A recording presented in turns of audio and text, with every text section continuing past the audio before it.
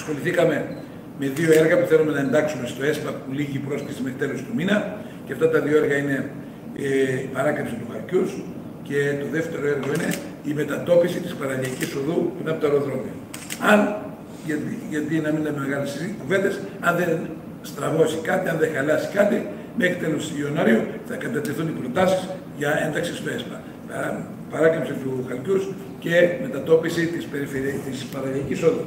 Ταυτόχρονα μιλήσαμε, μίλησα και με τον μελετητή για τη μελέτη της Καλυμασιάς, παράκαμψης της Καλυμασιάς. Είχε γίνει εδώ και χρόνια μια μελέτη μεγάλη, η οποία οδηγούσε σε απαλωτριώσεις τάξης των 9 εκατομμύριων και θεωρήσαμε ότι είναι υπερβολικό να δώσουμε για ένα, μια παράκαμψη 9 εκατομμύρια απαλωτριώσεις και έτσι ε, θα εκπονηθεί τώρα μια μελέτη που θα μαζεύει το έργο ώστε να είναι πολύ πιο μαζεμένο και πιο υλοποίηση το έργο. Ε, αυτά ήταν λίγο πολύ, εκτός μου ξεφεύγει κάτι που συζητήσαμε σήμερα.